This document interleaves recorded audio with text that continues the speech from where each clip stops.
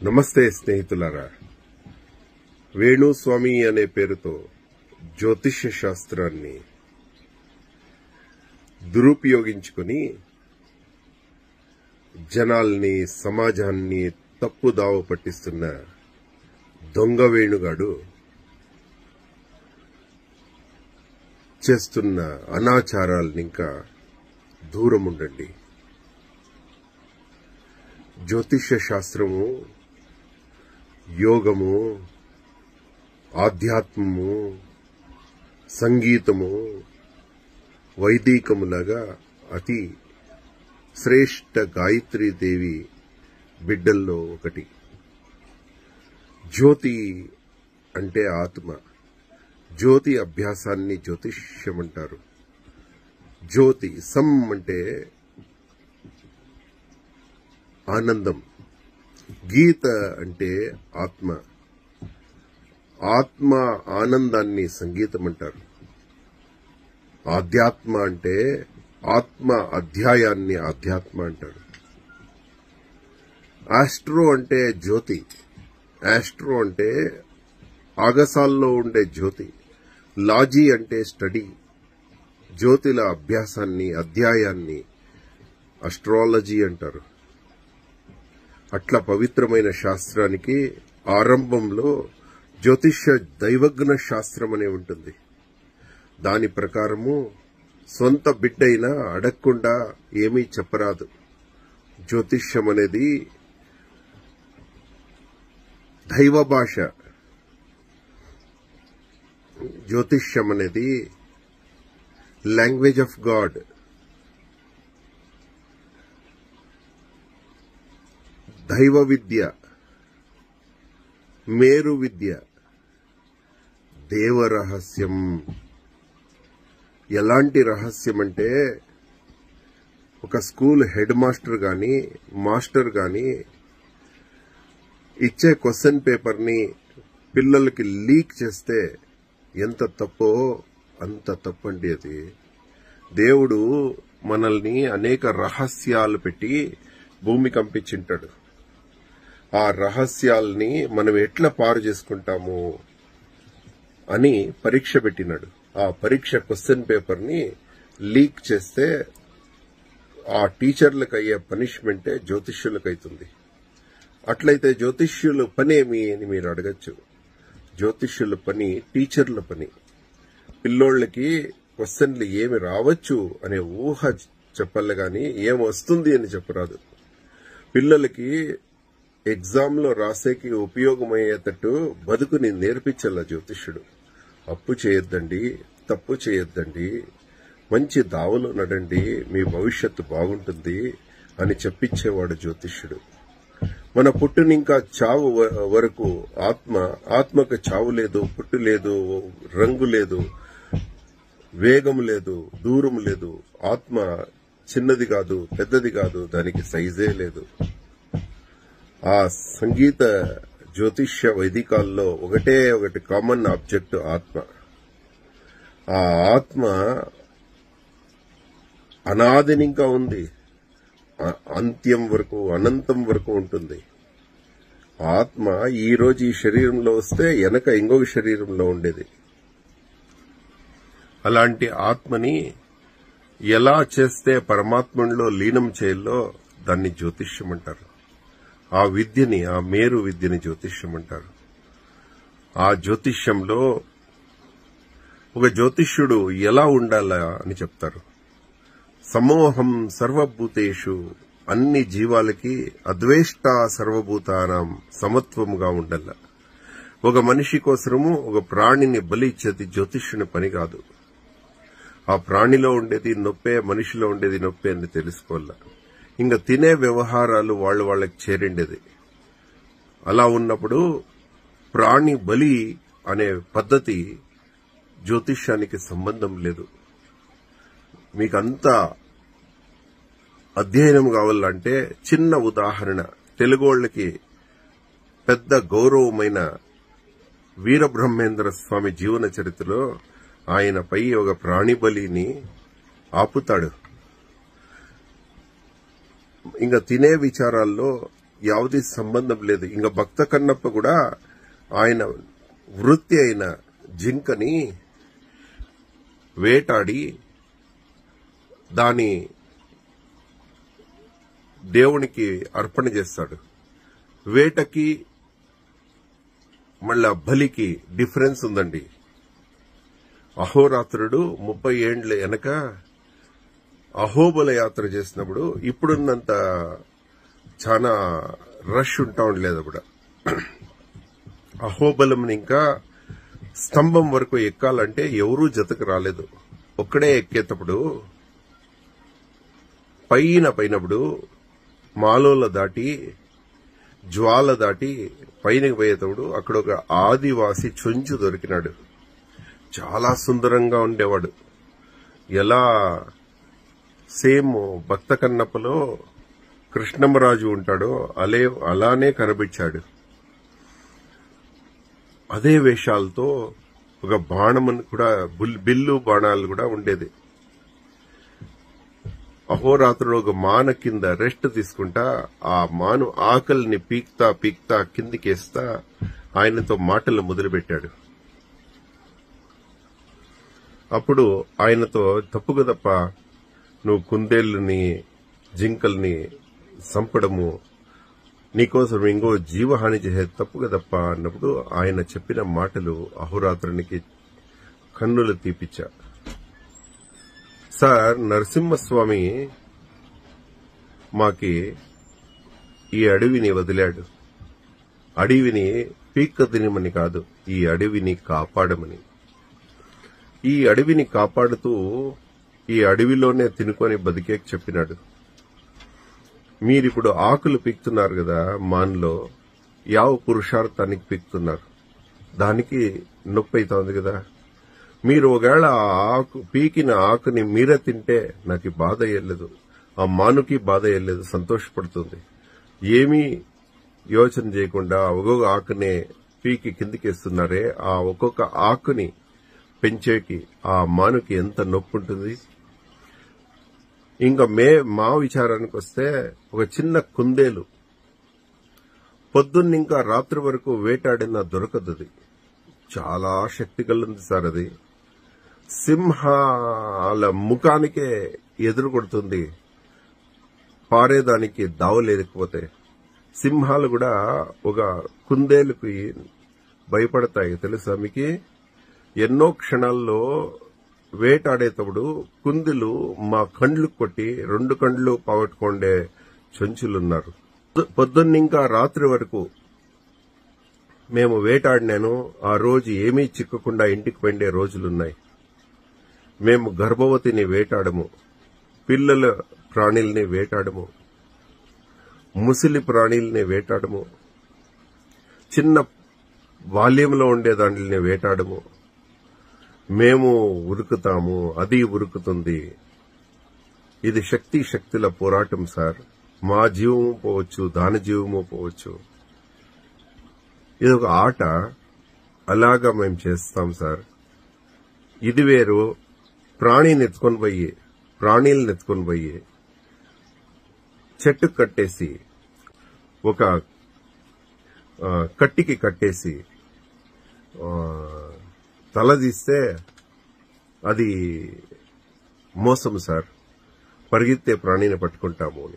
ఇది తినే వాళ్ళకి పరిగెత్తే వాళ్ళకి పట్టుకునే వాళ్ళకి ఉండే ఒక ఆట ఇది జగత్తులో. దేవుడు చెప్పిన ఆట సింహము జింక వెనకింటి పోతుంది. అలాగే మాకి ఆకిలైతే మాత్రము మేము వేటకు పోతాము. ఒకవేళ మా కడుపు నిండినప్పుడు యావ ప్రాణి జోలికి పోము సార్.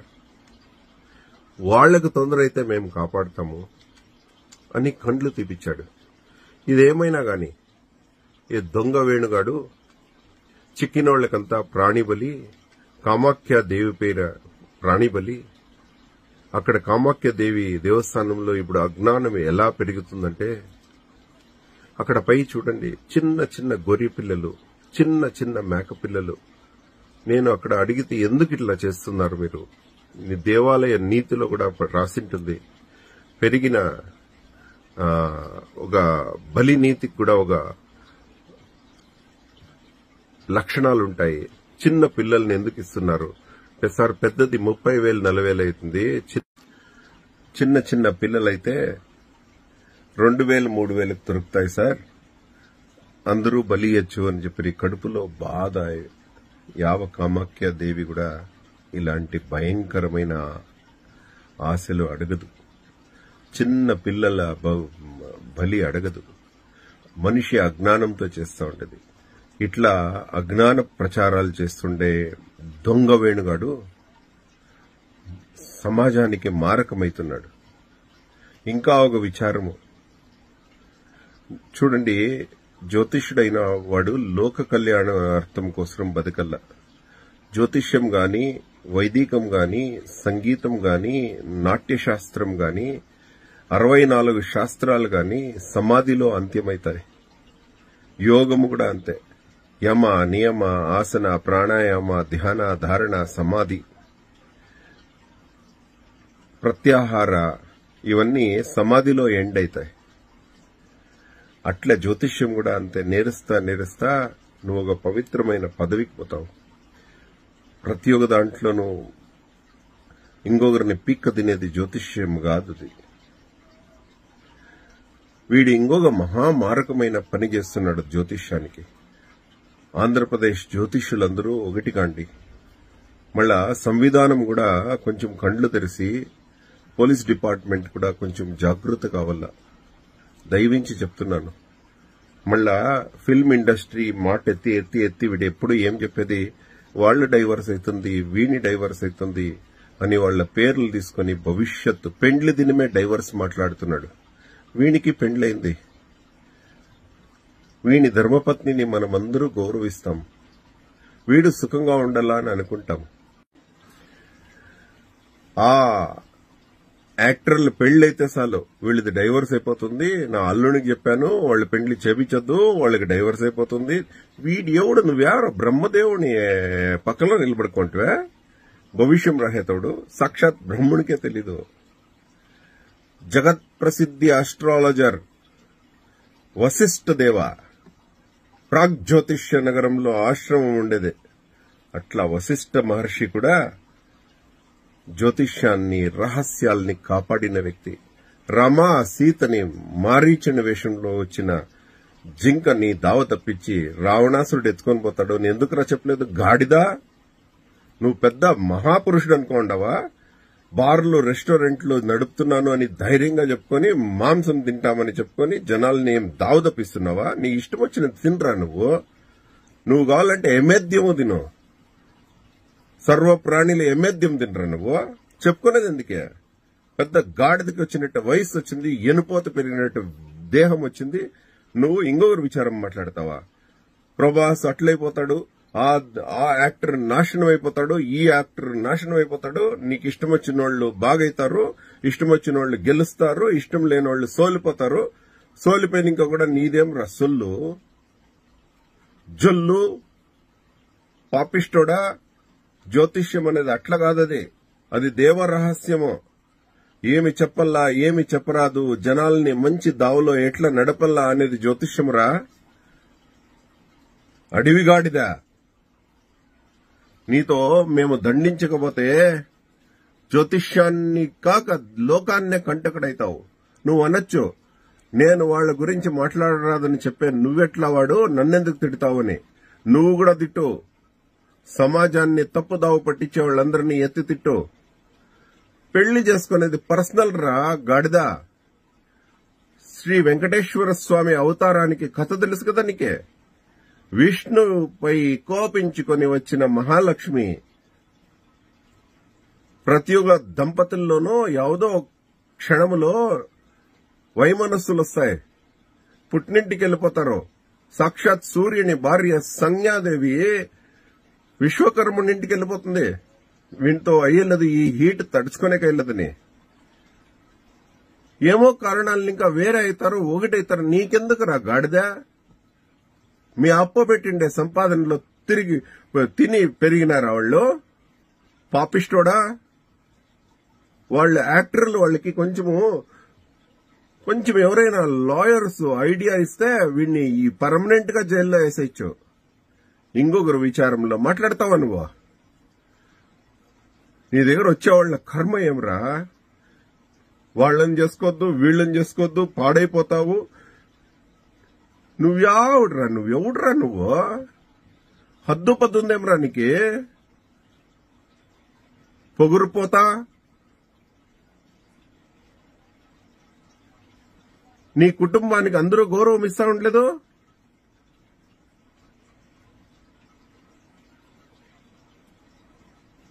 అమ్మ అక్క బేన్ మా అని గాలి ఇస్తావే? నీ ఇంట్లో ఆడోళ్ళు లేరు? నీలాంటి వాళ్ళని చాణక్యుడు ఎప్పుడు చూసినా ఆడ ఆడోళ్ళని పే- పేరు పెట్టుకుని అమ్మ అక్క ఆ కొడక ఈ కొడక అని తిట్టేవాళ్ళని నపుంసక నామర్ద నిర్లింగి షండల్ అని చెప్పాడు. చేతగాని జనాలు మీరంతా. ఆడోళ్ళని తిడతారు. ద్రాక్ష దొరకకుండా ద్రాక్ష పులుపు అనే దొంగ జనాలు మీరు. పాపిష్టోడా దినదినము జాస్తి అయిపోతోంది నీ అవతారము. నిన్ను ఎదురుగా కూర్చోబెట్టుకొని మాట్లాడతారు కదా? వాళ్ళకి తొందరగా వల్ల. అహోరాత్ర నీకెందుకు నా విచారం అంటే నేనింకా సమాజం దావ తప్పుతుంది. అహోరాత్రుడు కూడా యాక్టర్స్ గాక ప్లేయర్స్ గాక రాజకారణుల్ని అనిన్నాడు. ఎప్పుడు లోక కంటకులైనప్పుడు. వాళ్ళ ఇంటోళ్ళని ఇప్పటికీ గౌరవిస్తాడు.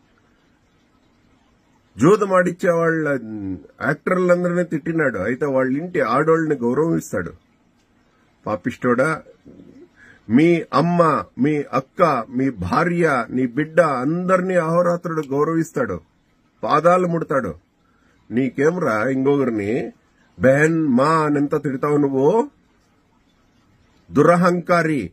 ఇంట్లో వాళ్ళు మంచి పరక చెప్పులతో పూజ చేసింటే నీ నోట్లో అట్లా మాటలు వస్తా ఉండలేదు. నీకైతే ఇంట్లో ఆడోళ్ళు వాళ్ళకంతా లేవేంరా? ఎవరో విడిపోయేది సహజము. దేవుండ్లకే అవుతుందంట డైవర్స్. దాన్ని పట్టుకొని నేను చెప్తే నేను చెప్తే ఏమ్రా నువ్వు చెప్తివి? నువ్వు చెప్తే వాళ్ళిద్దరూ వేరైపోతారా? నువ్వు చెప్తే సాలేరా లైఫ్లో పిక్చర్ సక్సెస్ అయినా? కుళ్ళుపోతా జనాల్ని దావ తప్పించొద్దు. ఎందుకు నీ విచారానికి వస్తున్నాను అడుగు చెప్తాను? నీ భార్య చనిపోతుంది నీ భర్త చనిపోతాడు నీ కూతురు చనిపోతాడు నీ కొడుకు చనిపోతాడు నీ కొడుకులకి విడాకులు అయిపోతుంది నీ కూతురు విధవరాలు అయిపోతుంది అని కూతురు చనిపోతుంది అల్లుడు చనిపోతాడని భయపెట్టి డబ్బులు దొంగలిస్తున్నావా నువ్వు? అది ఎంత? ఇరవై లక్షలు ముప్పై లక్షలు? ఇదేనా నీ నీ ఆస్తి వెనకండే మూలము? కామాఖ్య దేవుని మధ్యలో వేసుకుని ఆ దేవికి బలి ఎల్లా ఎనుపోతని ఎల్లా అది ఎల్లా ఈ ఈ యజ్ఞము ఆ యజ్ఞము. ఏమరా నీది అవతారాలు? దురహంకారి దున్నపోత. ఎడారి గొడ్డు నువ్వు. తిరుపతి లడ్డంట. పాపిష్టోడా అద్దుపద్దులో ఉండో. నేను నోరు తెరగకపో తెరవకపోతే జ్యోతిష్యానికి ఇంకంత అవమానం నువ్వు. జనాలు జ్యోతిష్యం అంటే భయపడే పరిస్థితి ఇస్తున్నావు నువ్వు.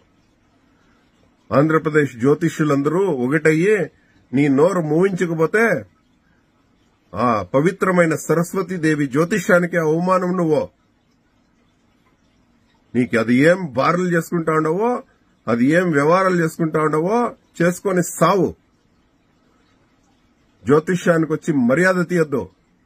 దుష్ట దుర్మార్గ ఎన్నుపోత గాడిద. తిప్పపంది నువ్వు. యోగ్యతుంటే ఇలా తిట్టు. అమ్మ అక్క ఆ కొడక ఈ కొడక ఎవడరా నువ్వు?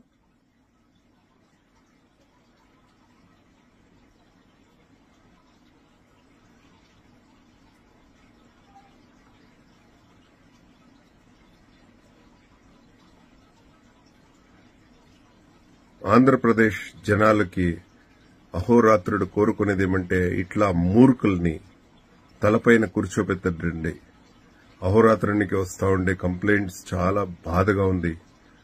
వీడు పీక్క తింటా అన్నాడు వీని ఆస్తి మూలము ఇదే అని తెలుస్తుంది. ఇట్లా వాళ్ళు ఎక్కడ చిక్తే అక్కడ దండించండి. ఎవరు ఆడ బూతులు కూస్తారో ఆడోళ్ళని గురించి అమ్మ అక్క కొడక ఇడుక వాళ్ళందరినీ నపుంసక నామర్థ ఘోషణలు చేయండి. రోడ్డు మధ్యలో నిలబడి. అప్పుడు వీళ్ళు దావకొస్తారు. ఏమి టీవీ షోస్లో కూర్చొని ఆ కొడుకు ఈ కొడుకు అని మాట్లాడతాడు వీడు పాపిష్టుడు. ఏమి వీడి నోటికి హద్దుందా? ఏ అన్ని విద్యలు గురించి మాట్లాడేస్తాడు వీడు. అన్ని యాక్టర్ల గురించి మాట్లాడతాడు. భయపడద్దండి యాక్టర్లు కూడా మీరు. వీడు డైవర్స్ చెప్తే ఏమి వీడు చెప్పకపోతే ఏమి? సుఖంగా బతకండి అందరూ. ఇష్టం ఉండేవాళ్ళు జట్లో ఉంటారు లేనివాళ్ళు వేరైతారు. వీడేవాడు చెప్పకే? ధన్యవాదం. అహోరాత్ర.